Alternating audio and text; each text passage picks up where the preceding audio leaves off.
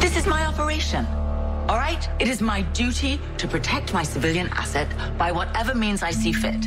Gee, you know what? I don't need protection, and I have everything under control. And the only way you are going to bring down Victor Cassadine is with my help. Well played, Anna. Now, how should I retaliate? I am the one who found out that Victor is working with the deputy mayor, so it's just a matter of time before I figure out what Victor's nefarious plan is, and then you, you get to take it to Robert.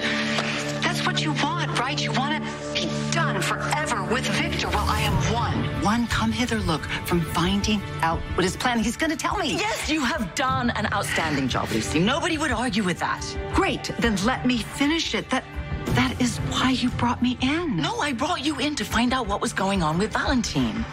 And oh my God, I should have ended your involvement then. Really? Well, then why didn't you? Lucy, Robert. Who else are you working with, Mr. Vane?